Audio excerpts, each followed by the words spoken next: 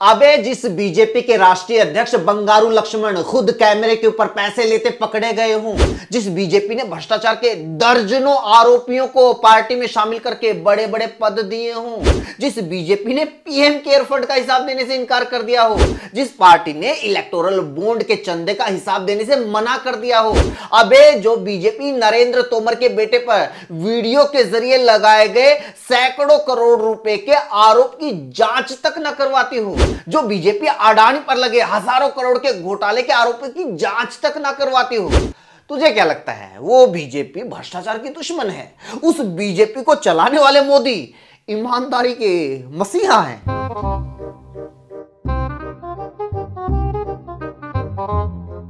अरे भाई साहब, कांग्रेस सांसद धीरज साहू के ठिकानों पर आयकर विभाग की छापेमारी हुई है।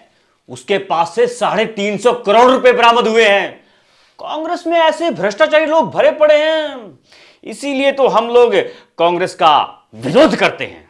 ओ भाई ज़्यादा विरोध भी मत करना। कल को यही धीरज साहू तुम लोगों का डिप्टी सीएम बना मिलेगा।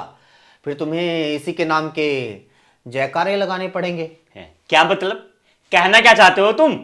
मतलब ये कि जिस दिन इस आदमी ने बीजेपी ज्वाइन कर ली उसी दिन ये सारा धन चंदे की राशि साबित हो जाएगी। धीरज साहू सबसे बड़ा सनातनी देशभक्त साबित हो जाएगा।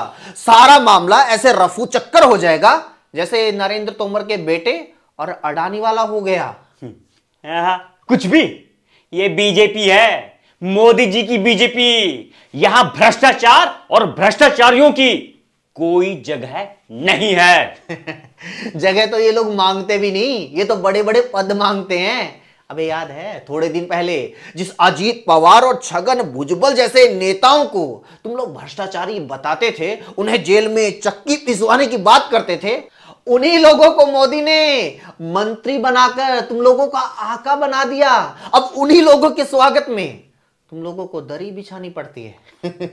अरे, हो जाता है कभी कभी राजनीतिक मजबूरियों के चलते एक दो लोगों को एडजस्ट करना पड़ता है। एक दो?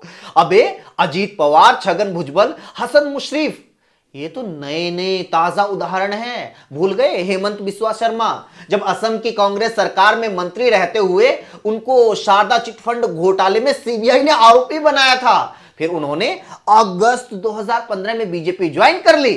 और उन पर कड़ी कार्रवाई करते हुए मोदी ने उनको असम का मुख्यमंत्री बना दिया। शुभेंदु अधिकारी, पश्चिम बंगाल, ममता सरकार में मंत्री थे। सीबीआई ने शारदा घोटाले में पूछताछ शुरू की। शुभेंदु पर नारदा स्टिंग ऑपरेशन में भी पैसे लेने का आरोप लगा। उसकी जाँच ईडी ने शुरू की थी। लेकिन जैसे ही वो बीजेपी में गए तो उन्हें बंगाल विधानसभा में बीजेपी विधायक दल का नेता यानी नेता प्रतिपक्ष बना दिया गया। जितेंद्र तिवारी पश्चिम बंगाल कोयला तस्करी समेत कई आरोप लगे थे लेकिन 2021 में तृणमूल छोड़कर बीजेपी का दामन थाम लिया।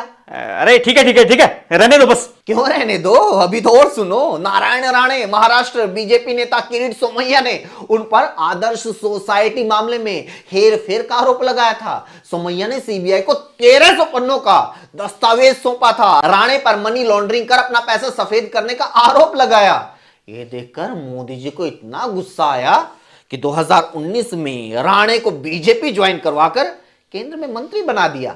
बीएस येदियुरप्पा, कर्नाटक येदियुरप्पा पर 2011 में 40 करोड़ रुपए लेकर अवैध खनन को शहद देने का आरोप लगा था और लोकायुक्त ने उनके खिलाफ अरेस्ट वारंट जारी किया था। उन्हें अपना सीएम पद छोड़ना पड़ा। 2013 में चुनाव में उन्होंने अलग पार्टी बना ली। उसके बाद मोदी जी ने येदियुरप्पा की घर वापसी करवाई। 2016 में सीबीआई कोर्ट ने येदियुरप्पा को क्लीन चिट दे दी। प्रवीण डारेकर, हार्दिक पटेल, कुलदीप बिश्नोई, मुकुल राय, बुक्कल नवाब, सुखराम समेत अनगिनत ऐसे उदाहरण हैं, जिनके ऊपर आरोप लगे, एजेंसियों की कार्रवाई शुरू हुई। तुम्हारे नेताओं ने उनके खिलाफ जमकर बयानबाजियाँ की, उन्हें भ्रष्टाचारी बताया। तुम लोगों ने उनके खिलाफ कपड़े निकालकर सड़कों पर नंगा डांस किया। और ये सारे नेता बीजेपी में शामिल होकर कट्टर, ईमानदार, देशभक्त और धर्म के रक्षक हो गए हैं।